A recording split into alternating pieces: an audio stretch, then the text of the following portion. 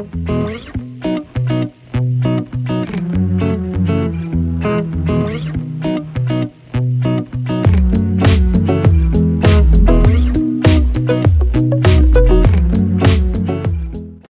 e bene, cari fratelli e sorelle, bentrovati! Domenica scorsa Gesù ci ha condotti al cuore della vita cristiana, l'amore al nemico. E quanto mai in questo tempo abbiamo bisogno di tornare a questo centro.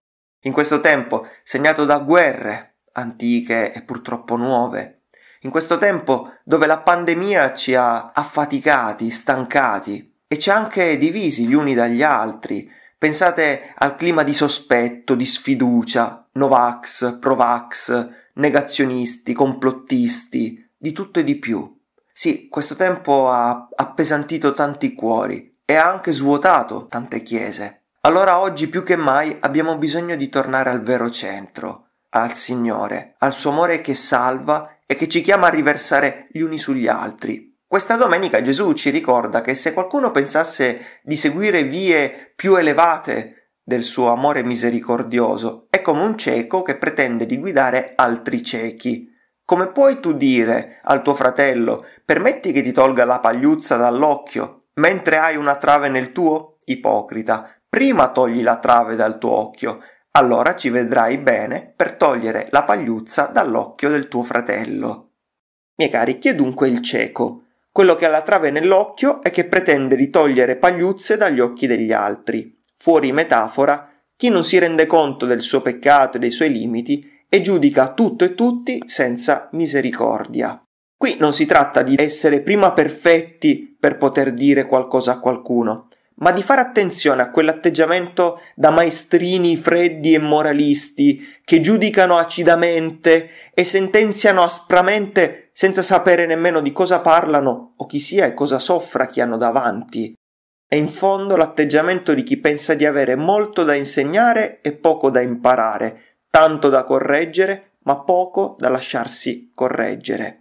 È un pericolo che può toccare tutti, specialmente chi coltiva poco l'umiltà e la vita interiore e magari frequenta anche le chiese da tanto tempo, riducendo le cose che conosce e impara a dei sassi da scagliare addosso alla gente. Tutti diciamo di essere peccatori, giusto? Bene, ma può diventare un modo di dire. Chiediamoci una cosa in semplicità. Io sono profondamente convinto di esserlo. So riconoscere davvero i miei peccati e chiedere perdono. E l'esperienza di misericordia che vivo mi aiuta ad essere più misericordioso e compassionevole verso gli altri? Il discepolo che non si rende conto di essere continuamente misericordiato è come un cieco che non sa dove va e finisce per farsi male e per fare male, specie a coloro che pensa di guidare. E allora ecco i perfettini che dall'alto della loro presunta perfezione pensano di poter sentenziare su tutto e tutti e che alla fine vivono adottando due pesi e due misure per i peccati, enormi se commessi dagli altri che subito vengono indicati e puntati, ininfluenti se commessi da loro stessi. Come faceva notare padre Fausti, sarebbe come se in un inverno polare una persona distratta uscisse totalmente nuda, ma col cordoncino del cappello in testa, e dicesse a una persona ben impellicciata e coperta, ma col cappello senza cordino, ma non vedi che ti manca il cordoncino del cappello? Atteggiamento analogo è quello di coloro che ascoltano, ma applicano quanto sentono solamente agli altri. Un po' come quelle persone che al sentire omelie e catechesi lanciano occhiate a destra e a sinistra per vedere se quella persona reagisce perché per lei o sgomitano il marito o la moglie accanto per dirgli hai capito? Hai visto? Era per te. Anziché lasciarsi operare dalla parola di Dio, la usa per giudicare gli altri. In questo modo il Vangelo non è più parola di salvezza, ma lo sto riducendo ad un libro da tirare in testa agli altri. Ecco perché Gesù chiama chi fa così ipocrita e invita a togliere prima la trave dal proprio occhio, per poterci così vedere bene e poter essere realmente di aiuto al fratello o alla sorella. Il Signore ci chiama cioè a togliere quella durezza nel giudicare, quella tendenza a condannare, quella sprezza nell'accostarci all'altro, al suo limite, anche al suo peccato. Come togliere questa trave? Beh, anzitutto chiedendo al Signore che ci aiuti a riconoscerla chiedendogli anche perdono per tutte quelle volte in cui ce la siamo piantata nell'occhio, adottando atteggiamenti e parole giudicanti. Quando lasciamo infatti che la misericordia di Dio tocchi la nostra miseria, diventiamo più misericordiosi anche verso gli altri. Sarà anche utile chiedere perdono alle persone quando le feriamo con determinati atteggiamenti, scoprirmi sempre di nuovo misericordiato dal Signore e tante volte supportato e sopportato da chi ho accanto aiuta a scendere da quei presuntuosi piedistalli sui quali a volte rischiamo di salire. In una parola, si tratta in fondo di coltivare l'umiltà.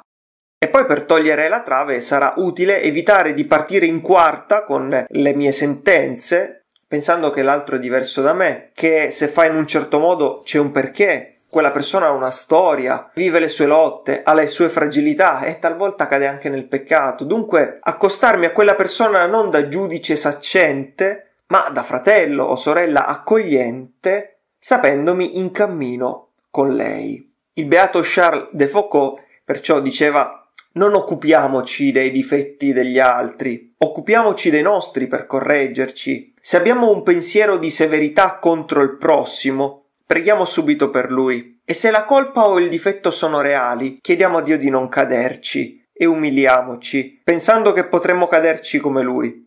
Lui oggi, io domani, diceva un solitario. Gettiamo a questa vista uno sguardo su di noi, sulle nostre colpe passate e presenti, e riconosciamo che siamo molto più bassi addirittura.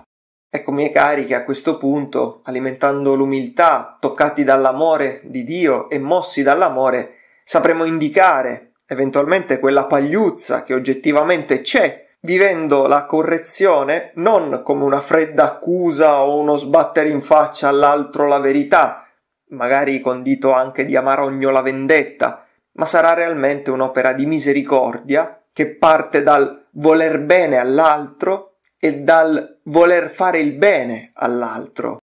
E anche se talvolta dovesse essere necessaria un po' di fermezza, la persona, sentendosi amata, potrà comprendere che in quel momento le si sta volendo bene e proprio per questo le si sta indicando una pagliuzza e magari il modo per toglierla. Infine, cari amici, Gesù conclude dicendo che non vi è albero buono che produca un frutto cattivo, né viceversa. Non si raccolgono fichi dagli spini, né si vendemmia uva da un rovo. L'uomo buono trae dal buon tesoro del suo cuore il bene, l'uomo cattivo il male. La bocca infatti esprime ciò che dal cuore sovrabbonda. Ecco, il Signore parla di frutti buoni e frutti cattivi, fichi e rovi, parole buone che escono da un cuore buono e parole cattive che escono da un cuore cattivo. Ognuno tira fuori ciò che ha dentro. Ci farà bene chiederci e noi cosa tiriamo fuori? Quali parole escono dalla nostra bocca? Cosa ascoltano? Cosa sperimentano le persone che abbiamo vicino a noi? Fichi o spine? Uva o rovi? Moralismo? Giudizio? Asprezza o dolcezza? misericordia, accoglienza. Cosa esce dalla mia bocca? Di cosa è pieno dunque il mio cuore? Mi piace concludere con un racconto tratto dal Talmud. Un anziano rabbino domandò una volta ai suoi allievi da che cosa si potesse riconoscere il momento preciso in cui finiva la notte e cominciava il giorno. Forse da quando si può distinguere un cane da una pecora? No, disse il rabbino. Quando si distingue un albero di datteri da un albero di fichi? Nemmeno. Ma quando è allora? Rispose. E quando guardando il volto di una persona qualunque tu riconosci un fratello o una sorella. Fino a quel punto è ancora notte nel tuo cuore. Che il Signore ci aiuti affinché sia sempre giorno nei nostri cuori e la luce della sua grazia possa riversarsi copiosa su coloro che abbiamo accanto, attraverso le nostre parole e i nostri gesti, quella luce benevola, capace di conquistare all'amore anche i cuori più induriti. Che il buon Dio vi benedica. Pace e bene a tutti.